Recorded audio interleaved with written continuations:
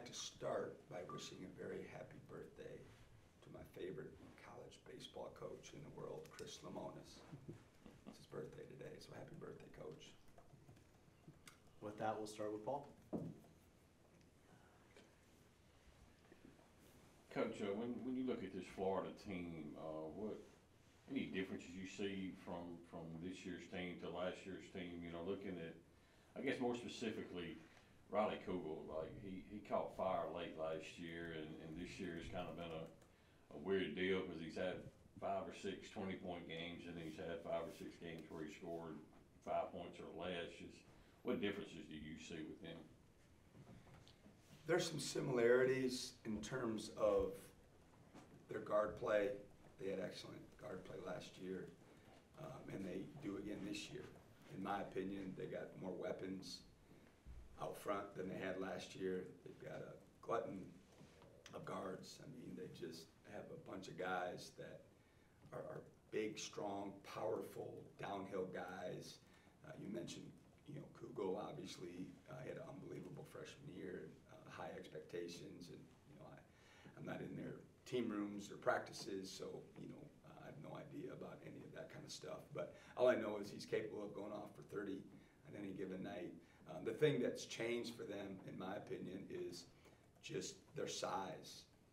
You know, obviously Castleton went down last year late, so he wasn't available when we played them in the SEC tournament, tournament which hurt them. But I just feel like they've got more size this year.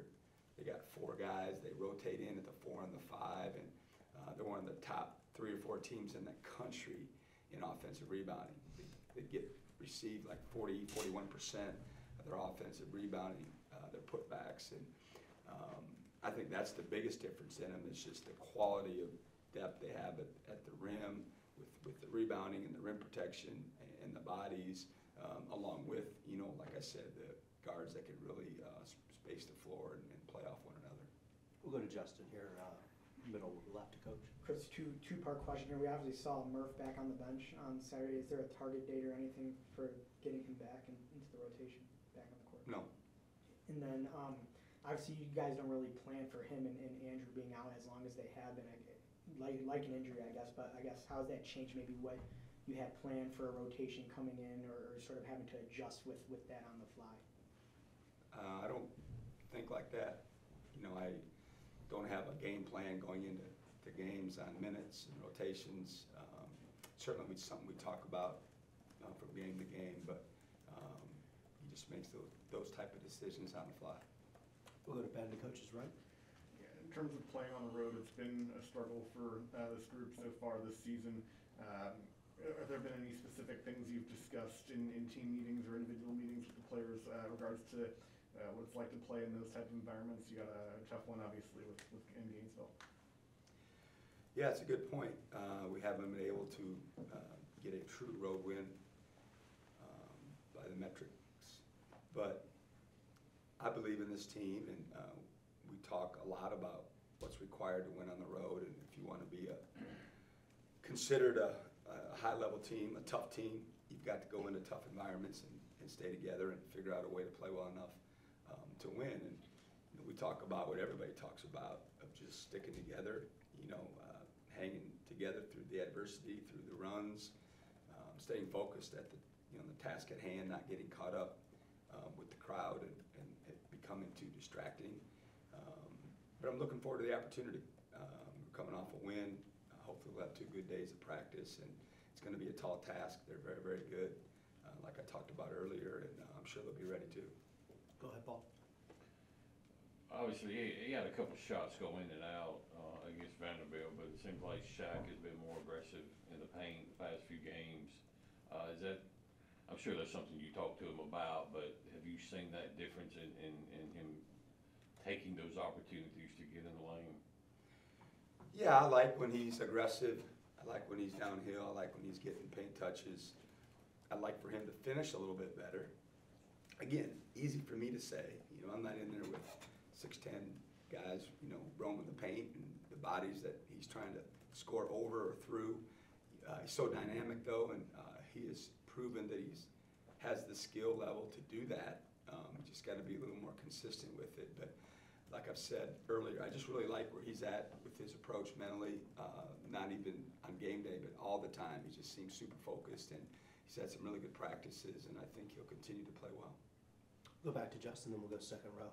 Chris, we haven't, uh, I guess, checked in on guys since, um, since Tolu came back. Just how has he sort of, um, adjusted to getting back to the role he was maybe expected to have coming into the year? And, and how valuable were those minutes, you know, early in the season to get him to where he is to this point in the season? Yeah, Guy continues to work. Um, on Friday, he had one of the better practices he's had in a while where he had a, a flurry there where he dominated. I mean, he was scoring, he was blocking shots, uh, he was running the floor. His teammates, you know, it was, it was maroon versus gray, I guess, is our jersey colors in practice. And um, his team was doing well, and his, his teammates were excited for him, and uh, it was good to see. And certainly, he understands, you know, where it's at, how valuable those minutes uh, will be for him. I think will be more determined next year. Um, but I know he's capable. I know he's uh, wants more. I know uh, he's trying to prepare himself, you know, every day for anything that comes his way. And uh, who knows how the season will unfold? But uh, what I love about him is, you know, he's he's a worker. He's a great person. Uh, he's got the right, you know, approach every single day, and um, you know, he's in a good spot. Go ahead. Coach, how important was for y'all? How important was it for y'all to get that win on Saturday after a couple of tough losses in a row? Yeah, it was a must-win.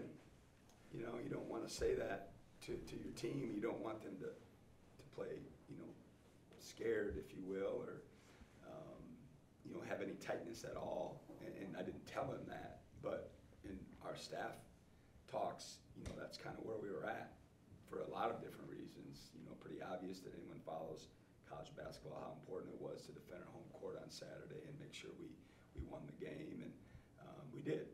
You know, certainly would have liked to play a little bit better, especially on the offensive end in the second half. Um, the, the, the margin of victory, you know, could have been more if, if we would have knocked the free throws down and, and, you know, scored better at the rim, which has become a little bit of an issue for us um, that we've got to shore up. Got time for a couple more. We'll go second round, Danny P, and then David, and we'll get back down to bat and wrap it up.